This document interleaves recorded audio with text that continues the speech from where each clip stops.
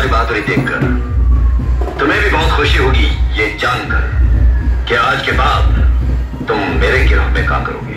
ये मजदूर का हाथ है कर दिया। लोहा पिघला कर उसका आकार बदल देता है।